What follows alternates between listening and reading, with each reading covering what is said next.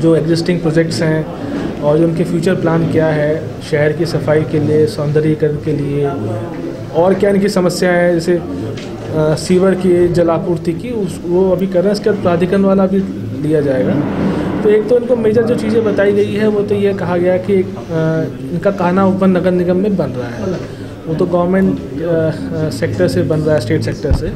तो उसके अलावा भी जो इनकी कुछ लैंड है इसको आइडेंटिफाई करने के लिए कहा गया है ताकि वहाँ पे जो हमारे जो गौवंश हैं, उनको रखा जा सके। दूसरा जो हमारे जो कुछ चौराहे हैं, उसके सौंदर्यकरण के लिए कुछ तो उन्होंने नगर निगम से लिया है। मैंने इनसे ये कहा है कि कुछ जो यहाँ के ऐसे इंडस्ट्रियल हाउसेज हो या होटलियर्स हो, जो कि चौराहों को अडॉप्ट करना चाहें तो उसको आप लोग उनको भी आमंत्रित करिए और वो अपने चौराहे हैं, पार्क है, उसको सौंदर्यकरण करें।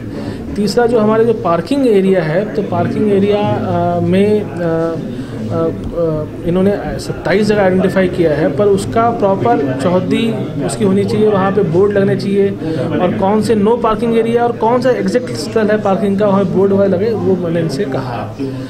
और जो इनके अवस्थापना निधि के जो वर्क हैं वो भी इसमें काफ़ी वर्क स्लो है उसको तेज़ी करने के लिए कहा गया। और आपसे जाने हम यदि बुलंदशहर की घटना के बाद में क्या कुछ कोई प्रिवेंटिव एक्शंस लिए गए हैं?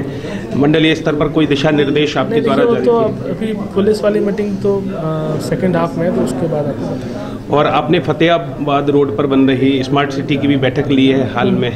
वो कल भी है एक मीटिंग जी थोड़ा सा जान लें। नहीं उसको हम लोग देखिए अभी हमारा जो स्मार्ट सिटी जो है आगरा वो सेवनटीन पोजीशन पे है पूरे इन ऑल ओवर इंडिया मतलब बनारस के बाद नंबर दो आगरा ही है। और अब वहाँ पे हमारे लगभग दस प्रोजेक्ट हमारे उसमें वर्क ऑर्डर इशू हो गए हैं। तेईस में से दस में हो गए हैं, लगभग सत्रह अठारह में कुल मिला टेंडर हो गए हैं। तो काफ़ी तेज़ी से काम उसमें चल रहा है।